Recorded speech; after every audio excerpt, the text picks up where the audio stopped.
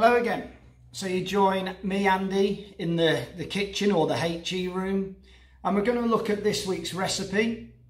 Hopefully you've enjoyed the last couple that I've done. I know they weren't perfect. There was the odd uh, blooper in there about the board, and I did put a uh, blooper in. Unfortunately, I shouldn't have put nuts in. So I do apologise about that because we are a nut-free school. So apologies about that. I am going to try and uh, keep this one as blooper free as possible. So this week's recipe is the vegetable curry. We are going to make some chapatis to go with it and we are going to serve it with some rice. It is going to include the skills that you've been learning over the last few weeks. So peeling, chopping, preparing the vegetables, looking at how we fry, looking at how we move the spices around and then how we serve our food. So I'll go over now to show you the equipment and the ingredients that will be needed for today. The equipment that we'll need for today is out on my table at the moment.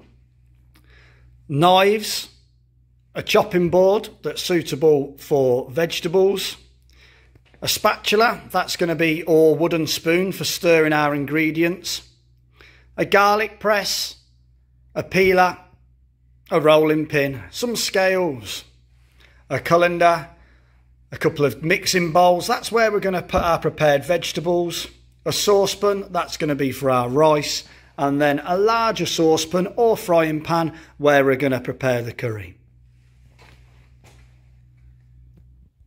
In terms of ingredients today, you haven't got to stick to exactly what I've got in front of me now. But what I've got, I've got some vegetable oil, some ginger, some garlic, an onion, some potatoes. You might not have seen these ones before. These are sweet potatoes. I've got a butternut squash, some cauliflower, a can of chickpeas, a can of plum tomatoes, some spinach, and then I've got quite a lot of different spices that I'm going to use for my curry. I'll go through those later. But if you haven't got these available, the alternative is just to use a mild or hot curry powder, depending how you like your curry. I've also got some chapati flour and some pilau rice. That is how we're going to serve the dish at the end. They're going to be the accompaniments. As Adab said though, you haven't got to stick to what I've got in my curry. If you've got potatoes, peas, and perhaps carrots, anything will really be okay to go in your vegetable curry. Now what we're going to do is we're going to move to preparing the vegetables and preparing the dough for the chapatis. So the first thing that I'm going to do before I weigh out my flour is to zero my scales with my mixing bowl. So I'm going to put my mixing bowl on and just make sure that we've got a zero. Hopefully you can see that there. And what I'm going to weigh out is I'm going to put 300 grams of flour into my mixing bowl. 200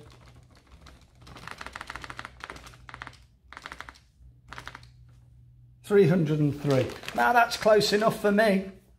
What we're going to do in a second is we're going to add some cold water to this to make it into a nice dough. To my 300 grams of chapati flour, I'm just going to slowly start to add some cold water and I'm going to mix it by hand. I want to make it into a nice sort of not too hard though, but just so we can move it.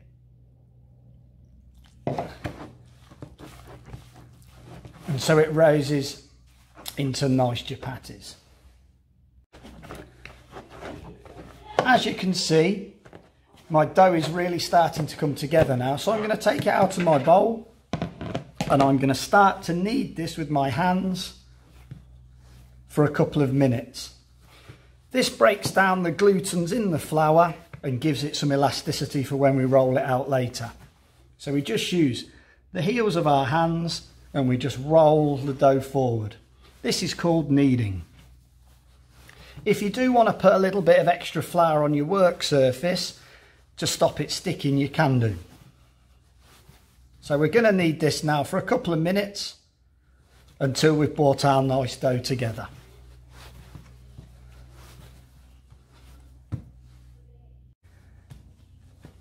I've been kneading my dough now for, as I mentioned, a couple of minutes and it's brought it together nicely. I'm now going to take that dough, put it back into my original bowl and I'm going to put that in the fridge now for around half an hour. While that's curing, I'll be able to get on with the rest of the curry and preparing everything else as I've already mentioned. So this one now is going to go into the fridge. Now the order of the vegetables that we're going to prepare depends on how hard the vegetable is. So potatoes, sweet potato and also butternut squash are a lot harder than cauliflower or especially the spinach. So we're going to start by preparing those. And what we're going to do is after we've prepared them, we're going to put them in a saucepan with some cold water and bring that up to the boil. That will probably take around 10 minutes to make those potatoes and sweet potatoes just soft enough to be able to get our fork into. It could take a little bit longer. We're then going to start preparing the rest of the vegetables and then add those in to the vegetable mix and spice mix later. So I'm now going to get on with preparing the sweet potatoes, potatoes and butternut squash. At this stage, it's worth mentioning that you can, by all means, peel your new potatoes and sweet potatoes. But actually, all I've done with these is just give them a really good scrub and wash under cold water because there are some really good nutrients within the skins of the new potatoes and sweet potato. With the butternut squash, I will be peeling the outside of it. But to make things a lot easier, you can just chop slice the potato and sweet potato straight away after you've given them a good clean. All I'm going to do with my sweet potato and potato is chop them into chunks of around probably two centimetres or an inch. So what I'm going to do is, as we've done before with our vegetables in previous weeks, I'm just going to put my knife by bridging through my hand and I'm going to cut my sweet potato in half and then nice and gently I'm just going to put or cut my sweet potato into chunks. I'm going to put that straight in my pan of cold water. I'm going to do the same with my potatoes.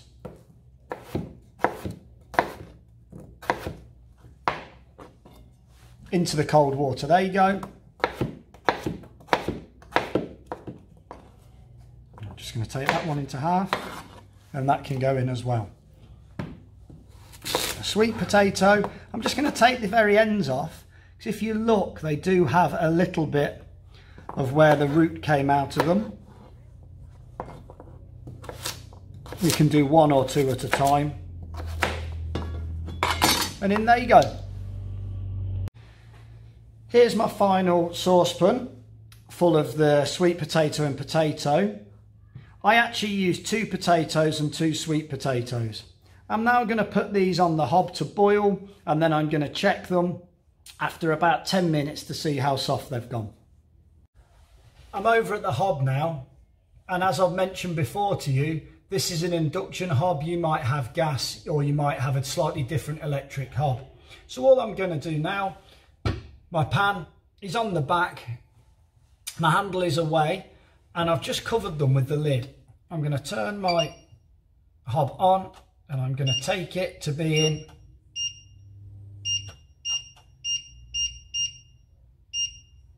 up to number eight.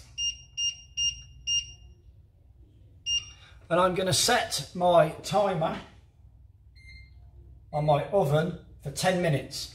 Just so if I'm preparing anything else, it gives me that little symbol or signal, sorry, to remind myself to come over and check on my potatoes and sweet potato. The next thing I'm going to start to prepare is the butternut squash. Now the butternut squash is without a doubt the hardest one of our vegetables to prepare. You might not have seen one before, they look a bit like a big monkey nut. So what I'm going to do is I'm just going to take a section of the butternut squash. It is quite hard to cut through, so you might need some adult help. They do have seeds in them like a marrow, because they are in the same family, but they have a very thick skin on them. So what I'm going to do to that, you could peel it, like we've done before. That would work absolutely fine. But I'm actually going to use my knife just to run down the sides to take that thick skin off. You may well need an adult help to do this because it is quite tricky to do. Butternut squash is a really, really nice addition to the curry. Not only does it add a little bit of colour, but it adds a really different taste into the vegetables. And you just take the top off and we are left with a rindless or skinless piece of butternut squash. And all I'm going to do is exactly the same as we did with our potato and sweet potato. I'm just going to put that or cut that into nice chunks. And in about five minutes, I'm going to add that into our potatoes to soften off. My next step in my preparation is to get the ginger peeled and sliced, the garlic cloves peeled and sliced, and the onion peeled and sliced. So I'm going to start with the ginger. Now, the ginger comes in really strange shapes and sizes. This one actually looks a little bit like a cactus or a lobster. So I'm going to take a small amount of the ginger and I'm going to use my peeler or my knife just to take the skin off the ginger. Again, like it was with the butternut squash, you can use a knife or you can use a peeler. Remember if you're using a peeler to always move it away from your body or your hand because it is a blade. I'm just removing all the skin off that piece of ginger and discarding or putting in the bin all of my pieces. Remember to tidy down as we go. I'm going to set that to one side for a moment and then I'm going to just peel my garlic. So we push down on the, the garlic and I'm going to take two cloves off. Now these are the cloves. They look like parts of a bulb, which is ironic because actually they are. And all I'm going to do with that is tidying away as I go. Top and tail the clove of garlic. When you do top and tail them, what happens is all of that dry skin comes off, leaving you with a nice clove of garlic with no skin on. So I'm just going to use two of those. And there's my other one. And I'm going to, as I've said earlier, tidy down as I go. Then I'm going to move on to my onion. I take the bottom of the onion off, the top of the onion off, a little bit of the skin there, and then using our bridging technique, knife between your fingers and just push down and half the onion. And for now, what I'm going to do is just remove the outer skin, or if there's anything that doesn't look quite right, so we have half of an onion. And there's my other half. I'm tidying up as we go to keep a nice clean board.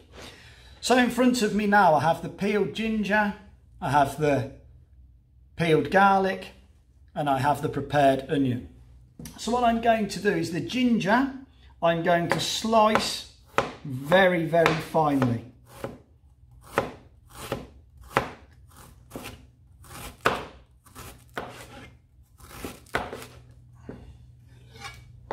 And then after I've sliced it finely, I'm just going to run the knife over it again. If you look, I'm keeping the top of the knife on the board and I'm just lifting up the back of the knife. And it takes the ginger into smaller pieces. Now it might be that our eyes start to water at about this point because mine are at the moment. So my ginger now is just going to go into one side of the bowl that I have here. Then I'm going to prepare the garlic by using this. Some of us might not have seen one of these before. It's a garlic press and all we do is we put the piece of garlic in there. We press the handle down and our pressed garlic comes out of the bottom. Alternatively, you can of course slice your garlic into small pieces. So that's going to go in the same bowl as my ginger set to one side. Now into that, tidying down as we go, I'm going to add my onion. So I want quite small pieces of onion. So I'm going to go along the lengthways and then holding I'm just going to chop down. Oh, I don't know whether you can hear that. But that's my 10 minute counter to go and check on my sweet potato and potato. I did say I might be doing something and it might go off, and it has. So there is our onion diced. I'm going to put that into my bowl, but in the meantime, I'm going to go and check on the potato. I'm back over at the hob again. Got, I've got a fork and what I'm going to do is remove the lid off my potato and just see where we've got to with softening it up. Now I can tell by using my fork that they're still too hard. So they've had 10 minutes from cold water. It may have been better if I'd have used boiling water to start with. But what I can do now, I'm going to set my pinger again for some more time. I'm probably going to look at another 10 minutes. But I can now add in, gently, my butternut squash to the top. Be careful with that, you may well need an adult's help. So I'm going to set my pinger on my oven again for another 10 minutes. I've covered those and then I'm going to go and prepare the rest of my vegetables. Due to the alarm going off for the potatoes and sweet potatoes, I'd left the onion at the dice stage. So I'm going to add this onion now into my bowl along with my ginger and my garlic. When we come to start the curry, this is going to be our first stage. Vegetable oil and fry off the onion, ginger and garlic. And then we're going to add our spices to that. The next vegetable that I'm going to prepare is going to be the cauliflower. But I'm not going to use all of this cauliflower. All I'm going to do is run a knife down the bottom to take off the leaves and then you're left with the head of the cauliflower. It actually does look a bit like a brain. Tidying down as we go. And all I'm going to do is I'm going to pull a few of these florets off my cauliflower.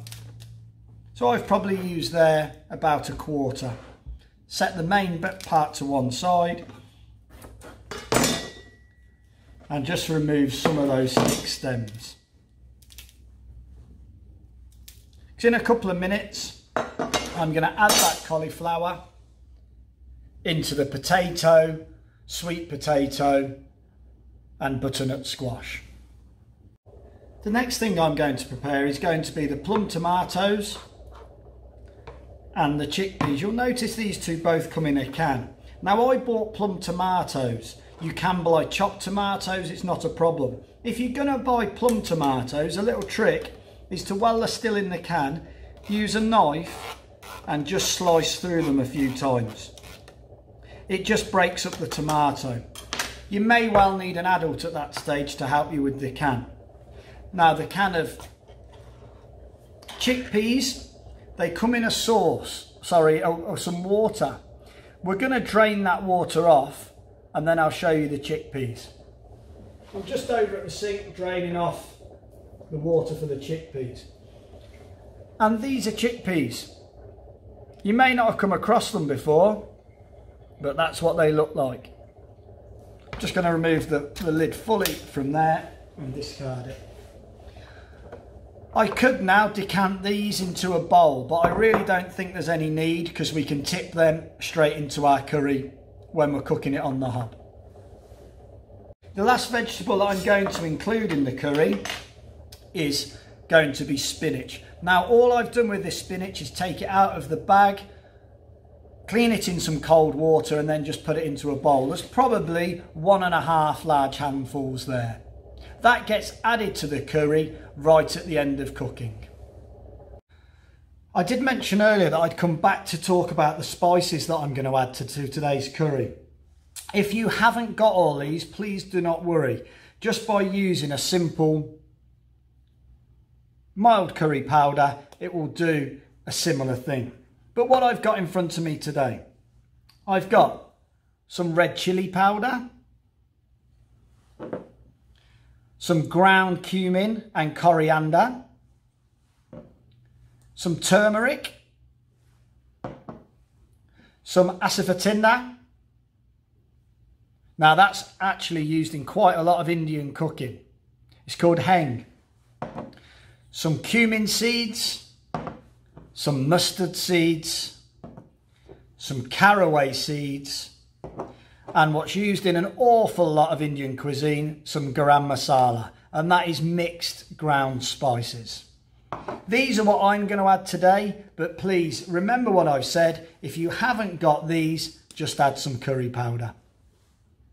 To get the spices ready, I'm just going to use a normal teaspoon and put them onto my plate.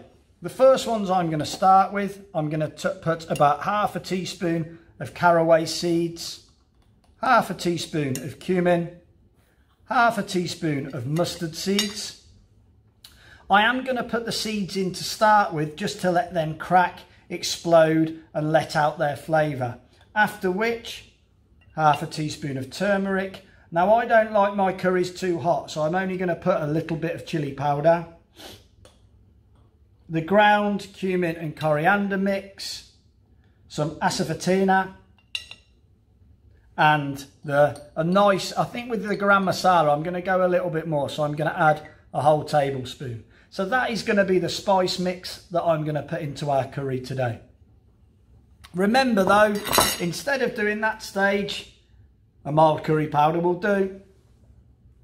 I'm back over at the hob now and I'm just going to check on our part boiled potato, sweet potato, butternut squash and cauliflower. Now if you can see, I can get the fork quite easily now into those vegetables. So they're ready to drain. So I'm going to turn that one off for now. And then I'm going to use a colander just to run that hot water off the vegetables. Now this is a good time to ask for adult help because this is boiling water, so we do have to be very careful with it. I'm now going to start the process of actually pulling the curry together. So I've got some vegetable oil and a large pan. You can use a large saucepan for this. And I've put that onto the heat and that's on number eight. I'm going to put a good glug of vegetable oil into my pan. I've got my spatula ready and the first things I'm going to add are going to be our ginger, our garlic and our onion. I'm just waiting a second for that the um, oil just to heat up a little bit. You will hear it start to sizzle. There we go, that's all straight in. And I'm just going to start moving around the ginger, garlic and the onion. That will take a couple of minutes. I'm going to turn my extractor on. So sorry if the noise changes. I've been moving the onions, garlic and ginger around now for a couple of minutes. I'll move the camera to see if you can see what it looks like. It's just starting to soften now. At this stage, with it just starting to soften out or brown, I'm going to add my seeds. So that will be the cumin, the mustard, in they go. And they're just going to pop and add their flavour to the mix. You can see there is a little bit of steam and it's sizzling away nicely. Keep moving this because you really don't want it to stick.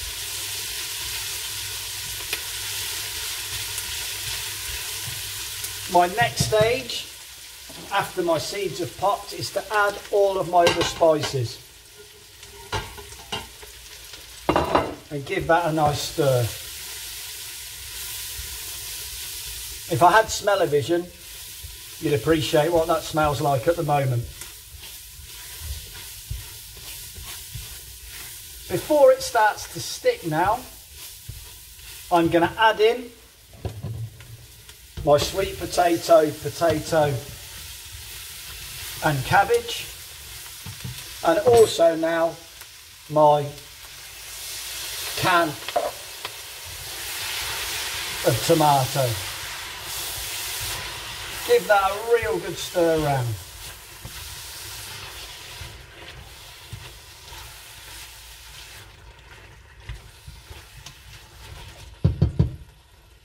It might be that during the cooking I'm going to add a slight amount of water. You can add stock to that as vegetable stock. Just keep an eye on it to make sure it's not sticking to the bottom of the pan. And I'm going to add,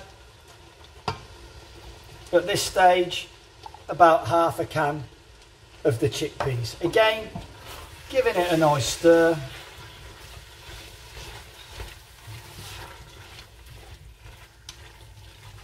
Mixing it all in together. So you've got a really nice mix coming together. I'm then going to turn it down to number five and to keep the moisture in I'm going to cover it. With the lid on our curry now, it's been given a nice mix round. I'm going to set my pinger for about 25 minutes so all of those nice spices and flavours can start to absorb and cook into the vegetables. So I'm going to go back to my, I call it a but my alarm and just set that for 25 minutes. While that's cooking, I'm actually just going to nip over to the um, washing up bowl, get all my washing up down, clean down my surfaces and get ready for making my chapatis. Whilst the curry is just finishing off, we're going to move back to our chapatis. Now I've just taken the dough out of the fridge and I'm just going to make it into a long sausage shape. I'm then going to cut a piece off or cut it into chunks ready for rolling out. The way I'm now going to make my chapati is by working it in my hands. I'm going to work it into a rough circle shape. Then with some flour on my worktop, I'm just going to start. I'm going to work my dough nice and thin. I'm not very good at this if I'm honest. Into a rough circular shape. Now it hasn't got to be perfect as you can see. I know some people can make these amazingly round. I am not one of those people.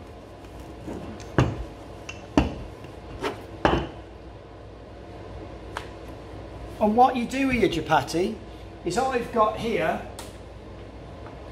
a crepe maker. Now I realise at home you might not have one of these but all you've got to do is dry fry. So what I'm going to do is put my chapati into my hands, knock off the excess flour and just lay it on. Watching your fingers to my pan. Now you may need to use a slice to get this off or you may need tongs. So as you can see, there's a little bit of steam coming from my chapati now as it starts to dry fry. I'll just move that so you can see it. It'll take a couple of minutes to fry all the way through on one side, turn it over and fry on the other. The way you can finish these off is by putting them after you've made them onto a gas hob and just turning it over to get that real flame grilled effect at the end. I'm not going to do that today, I'm just going to make a basic chapati. Now the chapati gives you a little signal about when it's almost ready to turn over. It will start to have some small brown marks on the bottom but also it will start to puff up a little bit on the top. So when that starts to happen, using either your slice or your tongs, just turn your chapati over. It is at this stage, when both sides of the chapati are cooked, when you can put that now onto your gas hob and just turn it over. It'll puff up lovely. I haven't got that, so I'm going to take it off the heat and then to finish it off, I'm just going to run some butter over the top. Or ghee. My next stage is to cook a few more chapatis off for then when the curry comes out, we're ready to serve. For me, that wasn't far off round and it's probably my best chapati. If you notice, it has puffed up in the middle and made an air pocket, a little bit like a pita bread. The curry's now been on for the 25 to 30 minutes and it's come together really nicely. The last and final step is to add in the spinach leaves. And give that a nice stir.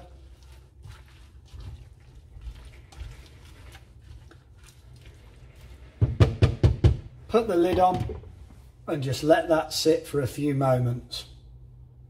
We're very close now to getting ready to serve our curry. My chapatis are ready to go. But I've just been to the polytunnel and I've grabbed some coriander. And all I'm going to do with that coriander is roughly chop it.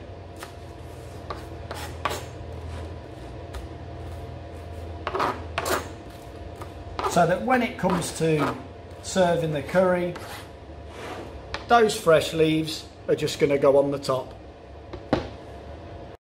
My last stage now is to actually serve the curry and dish it up.